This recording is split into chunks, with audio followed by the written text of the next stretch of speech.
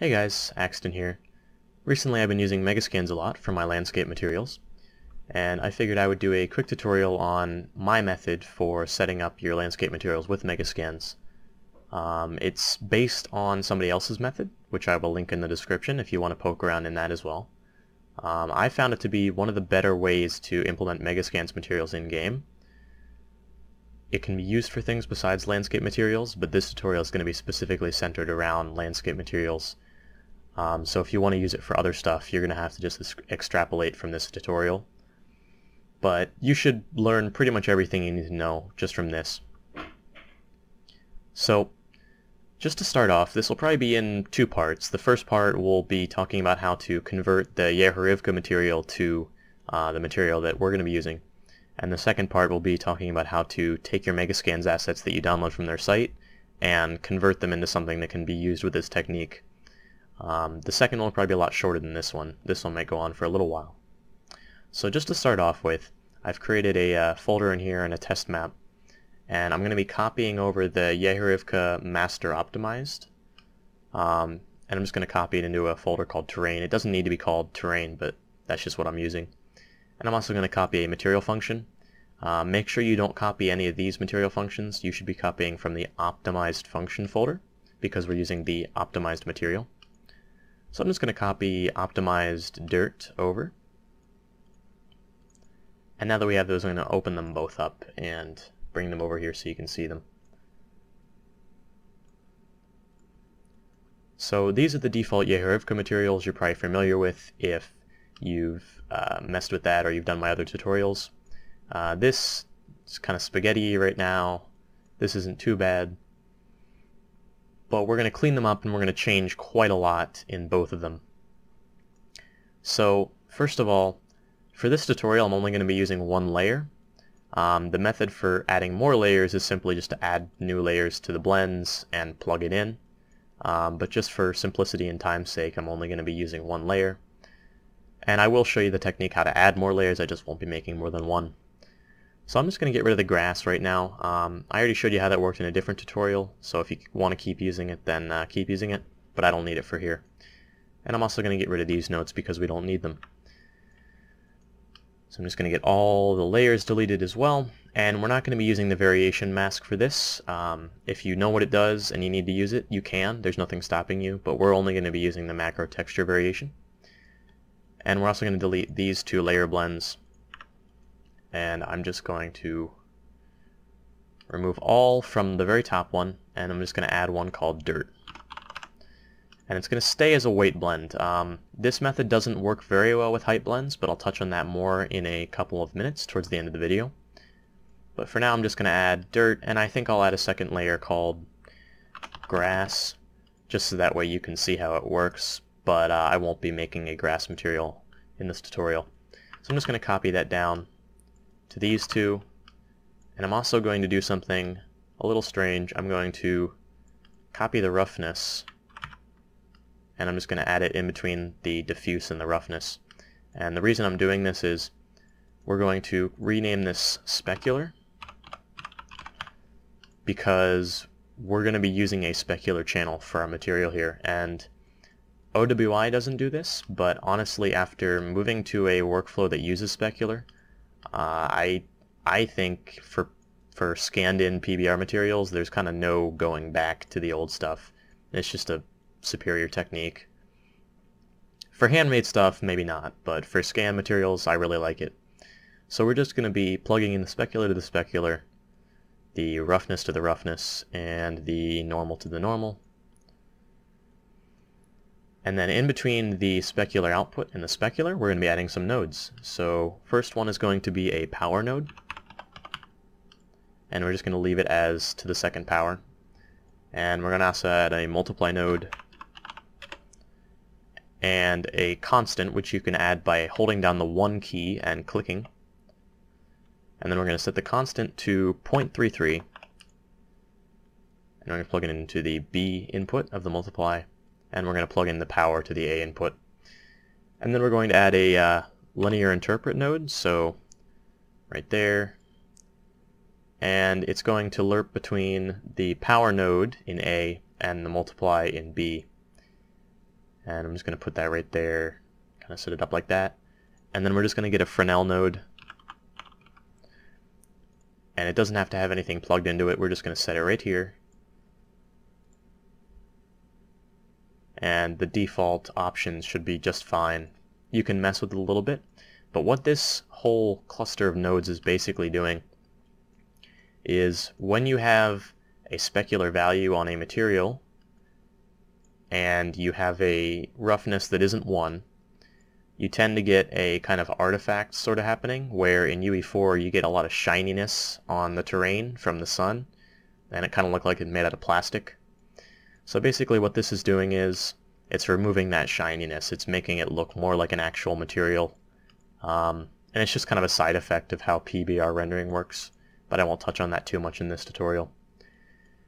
And then for the roughness, um, I tend to multiply mine by anywhere between 1.3 to 1.5. You don't have to if you feel like yours looks okay, but I tend to like my materials a little bit more on the rough side. Um, I don't like super shiny stuff. I don't think it looks very good with foliage.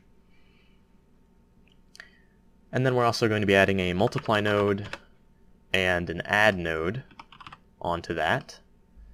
And we're going to be changing the multiply to 2 and the add to negative 0.5, which really it should probably be a subtract node, but this is just the way that I do it. It's not really any simpler, just kind of a quirk. And then we're just going to plug that up to our normal as well. And the reason we're doing this is because um, we're going to be packing our normals later on, uh, which means we're going to be packing multiple uh, image files into the same image. And this is just kind of it's part of the process of unpacking it. Some of the process is going to be done in the uh, in the material function, but this is just the part that doesn't need to be done in the material function. So now we're just going to grab our dirt material function and drag it in. And we're going to plug the diffuse into the diffuse, the layer dirt, and the roughness into, ah yes. Um, so we should probably touch on this just uh, right now is probably a great time. We're going to be changing the height output to a specular output. Uh, because we're not going to be using height for this. Um, like I said, it doesn't work very well for height blends. If you do need to use a height blend, I will talk about that towards the end of the video. But for now, we're just going to change the output to a specular output, and we're going to make the order 2 so that way it actually orders correctly. And we're just going to click apply on that, so when we come back here, we should have a specular output. And we're going to plug that into our layers here. And then for the variation, we're going to go back into our material function. There's this little bit of code right here that in my opinion really doesn't need to be in the material function. It could just be in the master material and that way you're not calculating it multiple times for however many layers you have. So we're just going to copy the whole thing and actually I guess I should copy the comment as well. We're just going to paste it right in here. Control C, Control V. And then all we're going to do is we're going to, like it's plugged in here, we're going to plug the output of the variation into the alpha of the uh, lerp node. And then we're just going to plug that straight into the macro variation of the material function. Um, what this basically does, if you're not aware, is it tiles a couple of noise textures and then it multiplies them onto the uh, diffuse of the material, which basically just kind of breaks up the tiling and makes it look a little bit nicer. So now that we have that, we're just going to remove this, and we're going to plug the variation straight into whatever it's plugged into. So in this case, it's going to be plugged in up here, and it's going to be plugged in down here. So now that we've bypassed this, we can just delete it. And that cleans up the material a little bit and makes it slightly more efficient. So that's pretty much all the work we're going to be doing to this main material here. Um, to add more layers, what you would do is just add a layer here, and you would take the material function that you've made and just plug it right in. Um, and pretty much once we have this all set up, you can just copy this and add different textures and it'll look fine. Like you don't need to make a different material function. For grass, you can just copy this one and add the grass textures, which is what I really like about the Megascans and the Specular is that you don't need to tweak values to have different types of materials. You just have enough maps that the textures will make it a different type of material, if that makes any sense. So let's set up this then. Um, we're going to be setting up the far first, but honestly the far and the near are pretty much the same thing. So we're just going to set up the far and then I'll show you how to set up the near. Um, the first thing that we're going to do right off the bat is we're just going to uh, delete these comments and some of the stuff in there as well.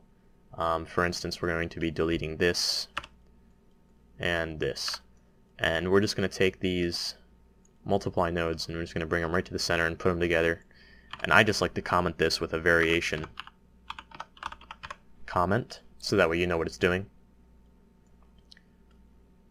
But that slims down the material significantly as well. Um, and we're also going to, before we get too carried away, we're going to add a fourth terrain blend and we're going to plug it in the same way that these are plugged in. So we're going to plug the transition into the transition, the start distance into the start distance, end distance into end distance, and so on. Um, and then that's fine. And we're going to plug that into, ah yes, so we have to move these down. Uh, we're going to plug this into the specular, because this is going, to be our uh, specular blend. And now we should be all good. Yep. There we go. And you can make this a little bit more organized, make sure all the lines are straight and stuff, but I'm not going to cover too much of that here. So you really don't need to mess with any of this stuff. Just understand what it does. All it's doing is blending between a far and a near texture based on these distances. This is the actual distance it blends at, and this is kind of the softness of it, how long it's blending for. So we're going to extend out the far setup just to uh, start creating this. And in this case, we're using a Megascans material, so I should probably explain how that works as well. The albedo is just going to be the albedo, just like it normally is. It's just going to be a color texture. The normal is going to be a bit different. We're going to be packing the um, the sorry ambient occlusion into the alpha, and we're going to be packing the roughness into the blue channel. Um, and this is going to mean that we're going to have a lot more kind of masks coming from one texture, which is good for performance because it means we're only using one texture for all those masks. However, it does mean that we have to reconstruct the blue channel because we don't have a blue channel anymore. Thankfully, UE4 allows us to do that pretty easily. So we're also going to be multiplying into the uh, albedo, we're going to be multiplying what will become the ambient occlusion mask, which is the alpha of the normal. So we're just going to place a multiply node there, and then we're going to plug it into what the albedo was going into. And then we're going to multiply the ambient occlusion by itself, which seems a little weird, but it, it works very well for strengthening the ambient occlusion. And we're going to then multiply that by about 0.25, or sorry, 0.5.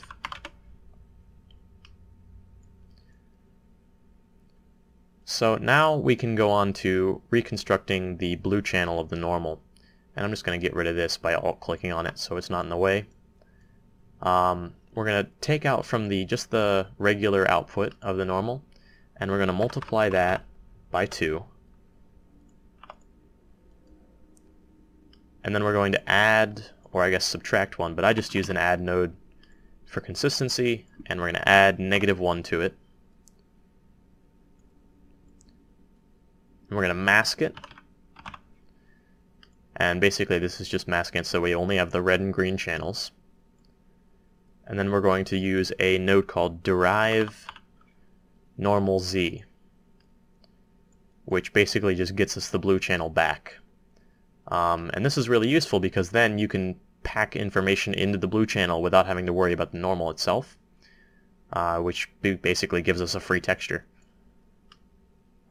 So now that we've done that, we can pretty much just uh, plug these into their respective outputs. So in this case, the um, the output of the derived normal z would be going into the far texture for the normal, which is down here. The output of the um, the output of the AO being multiplied by itself goes into the specular. uh, the far texture for the specular. And that's why we multiplied it by itself, is so that way we can kind of take a specular from the AO, um, which also saves us a texture, uh, which is very useful and saves on performance. And then from there, we pretty much have everything plugged in just fine except for the roughness, which needs to get plugged in as well. Right here. And I believe that's all we need for the far texture. So for the near texture, we can pretty much just copy all of that over. Um, I'm going to move it back so that way it's got plenty of space here. And we're just going to copy all of these nodes. And we're going to do the same thing with this. We're going to multiply the albedo by the ambient, eh, ambient occlusion, sorry. And we're going to plug the alpha of the normal into that. And we're going to plug the ambient occlusion into both of those nodes. And the roughness just goes straight to the roughness input here. So then, yep, we're just going to do the same thing for this. We're going to plug all of these outputs into the near texture output, except for this, which is going to go into the A of that. And we're also going to plug the uh, specular into the specular near input. And if we did everything right, then this should be correct. Um, you will notice that it's not rendering correctly yet, and it doesn't have a specular yet, um, because we need to actually pack the textures together. Um, that will come in the next part, but for now, this is pretty much all you have to do to get this to work right. And I don't believe I missed anything. So yeah, that's that's the material that you're going to be using for your Megascans setup. Um, it's not super complicated. The main differences is main differences are that you're reconstructing the blue channel and you're constructing a specular from an AO mask that's baked into the normal, uh, which basically gives you like five or six textures for the cost of two. Um, also, you notice that there's not an AO output here, which is because we're not actually using ambient occlusion in the master material, which we could be, but UE4's ambient occlusion is actually kind of terrible. So what we're doing is we're just multiplying it straight onto the albedo, which means that it'll work in every condition lighting-wise. There's no uh, no messing about with it. So I also mentioned that there's no good way to do height blend with this. And you can use this for height blend, it'll look okay-ish, um, depending on how you do it. Um, obviously, Megascan's outputs, um, they have a, a, displacement map, which is basically just a height map. And I'm not like I'm not going to say that that's a bad idea to use. The one thing you have to worry about though is that adds an entire new texture because there's really no place in these two textures that you can fit in another uh, map, another mask. Um, you could fit it into the albedo alpha mask, but that actually basically increases the size of the texture to the point where you might as well just add a new texture. So I personally don't use height blend, and depending on your your application, you might not really notice the difference between a height blend and a, uh, a weight blend. Like in Yamalo, I don't need it. But if you do need it, you can try it. It's not really going to hurt anything, it's just going to make your material render slightly slower. So that's all it is, really. Um, the material is pretty much just that. Um, if you want to add more layers, like I mentioned, just add more layers, copy this material function over, and just use different textures from Megascans. So that's been this first tutorial, and in the second one I'm just going to show you how to pack together your normal map and make it so that way it works with this. Uh, thanks for watching.